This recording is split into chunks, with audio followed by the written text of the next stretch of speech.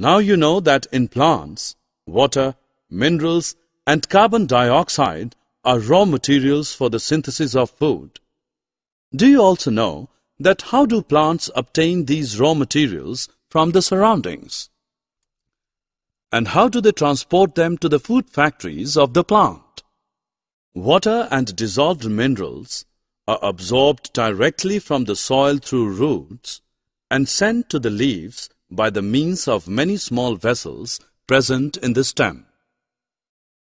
These vessels run throughout the root, the stem, the branches and the leaves. They form a continuous path or passage for water and minerals to reach the leaf. Likewise, carbon dioxide from air is taken in through the tiny or small pores present on both surfaces of the leaves.